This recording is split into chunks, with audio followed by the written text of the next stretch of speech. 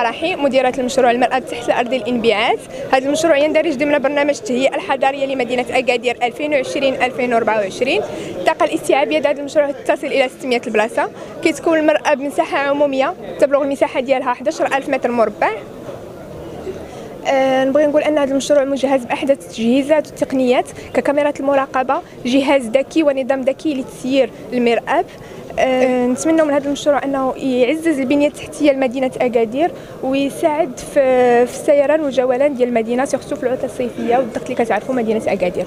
أنا في هذه الجولة لأنه عبركم بالطبع كنعرفوا المغاربة بالاستثمارات اللي كتقوم بها الحكومة في المجال الثقافي وكتعرفوا أن الثقافة اليوم عندها واحد الدور مهم آه، في المجال ديال خلق آه، يعني فرص شغل جديدة للشباب والشابات خاصة أن الحكومة توجهات أو التحدي ديالها هو يعني اللجوء إلى الصناعة الثقافية كمفهوم آه، يعني اقتصادي واجتماعي اللي غيمكننا من حتى مواجهة الأزمات اللي كيعرفها العالم واللي كيعرفها بالطبع المغرب بخلق فرص شغل جديدة للشباب والشابات وهذه البنايات التحتيه الثقافية اللي كتعرفها اليوم مدينة أكادير واللي كتعرفها جهه في العموم هي يعني بنايات مهمة لأنها بالطبع هي اللي غتستقبل مجموعة التظاهرات الثقافية ومجموعة ديال التظاهرات آه، فنية آه، اللي كيعرفها المغرب ككل. وبالطبع غتعرفها اليوم مدينة أكادير وراء هذه التظاهرات الفنية والثقافية. مره أخرى غنربطها بالمجال ديال الصناعة الثقافية وغنربطها كذلك بالمجال ديال السياحة الثقافية. أكادير كانت معروفة سابقا بالجمالية البحر ديالها والطقس اللي كيعرفها. اليوم غتولي كذلك معروفة بالجمالية أو بالمجال أو الإنشطة الثقافية والفنية اللي غتولي كتعرفها. وهذا بحد ذاته مهم جدا لأن مرة أخرى آه، السائح لما كيجي وكيربط الزيارة ديالو بالمجال الثقافي إلا هو واحد السائح اللي كيعاود يرجع لهذاك المكان اللي كيجي ليه. اذا آه، الاستثمار اليوم في المجال الثقافي هو آه، ولا مهم جدا بالنسبة بالنسبة للحكومة. وكنربطوه كيف ما قلت قبيلة بالمجال ديال الصناعة بالمجال ديال فرص الشغل الجديدة. وإن شاء الله بإذن الله التحدي ديالنا هو المجموعة ديال الشباب والشابات اللي كانوا عندنا.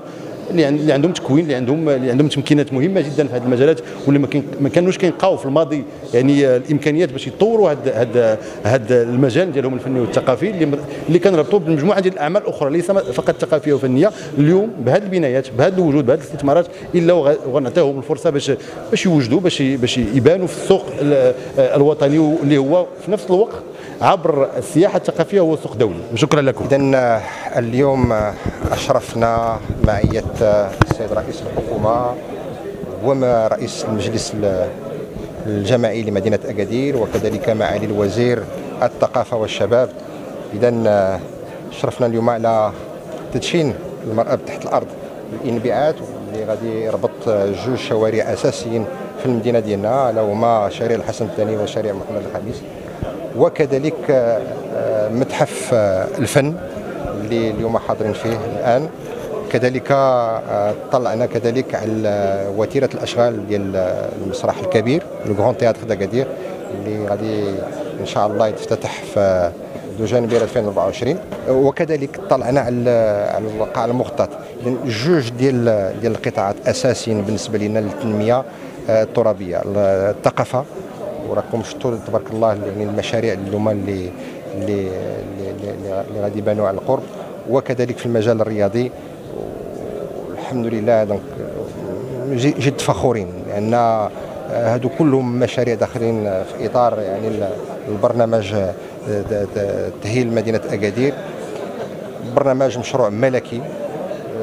الحمد لله هذه المشاريع كلهم غادي يعطيو واحد القيمة مضافة قوية لا الجاذبية ديال ديال مدينة أكادير عاصمة الجهة ديالنا ولا آه، يعني الوطن لأن تنتمنى إن شاء الله إن هذا هذا اكادير إن شاء الله ولا شك أنه في 2024 غادي تكون عندها المواصفات ديال آه، المدن الكبار ديال ديال ديال العالم إن شاء الله. حنا جد متفائلين كجهة آه، لأننا مسلحين بالإرادة الملكية اللي بغى أن الجهة ومدينة اكادير تكون قطب اقتصادي بامتياز اللي غادي تربط إن شاء الله شمال المغرب بجنوبه إلى جنوبه. إذا الحمد لله ولله الحمد هذا الشيء تيبشر بالخير إذا هنيئا لنا والله ينصر سيدنا. شكرا. كما حشتش قلت لكم اسيدي d'abord je voudrais, si vous me le permettez, remercier. Remercier M. Akhannouch d'avoir appuyé ce projet et d'avoir voulu toujours doter cette ville d'Agadir, qui est une ville qu'il aime, et comme il aime le pays, de doter cette ville d'un musée. Je voudrais aussi remercier le donateur qui a été d'une générosité incroyable d'offrir aux gens d'Agadir et aux Marocains et aussi à nos visiteurs une collection d'exception. Il a souhaité, il m'a dit qu'il souhaitait être discret. Donc voilà, je vous tiens à le remercier. pour poursuivre aussi, c'est de vous dire combien je suis reconnaissant au Wali, aux autorités régionales, à tout le monde qui ont contribué à nous faciliter pour que ce musée puisse exister et donner surtout un élément et un outil pour le tourisme, pour le Maroc et doter cette ville, qui est une ville magnifique d'Agadir, d'un outil extraordinaire qui est un musée. Nous sommes, en fin de compte, d'exécuter, nous exécutons la volonté royale de faire de ce pays un pays où la culture est partout. Quand il y a la culture, il y a les lumières, il y a l'ouverture d'esprit, il y a la compréhension avec les autres, il y a l'amour qu'on peut porter à l'autre. Donc la lumière est essentielle pour guider notre chemin. Et je voudrais remercier Sidrissi, le directeur du musée, toutes les personnes qui ont fait que ce musée soit là aujourd'hui et qu'il existe. الافتتاح ديال واحد المشاريع اللي جات في إطار برنامج التهيئة الحضاري. تنقولوا دائما اللي عطى الانطلاقة ديالته صاحب الجلالة الله ينصرو هذه المشاريع كلها جاية باش تغني البنية التحتية ديال المدينة ترفع من الجاذبية ديالها وتكون في خدمة الساكنة. المربط ديال الانبعاث غيفتح واحد المتنفس ستاسيونمون ساكنة أكادير. الطاقة الاستيعابية ديال 600 مربط على طابقين هو ابتداء من اليوم هو مفتوح أمام العموم. بنفس المناسبة تم أعطاء انطلاقة أشغال من أجل إعادة الاعتبار القاع المغطاه الإنبعاث.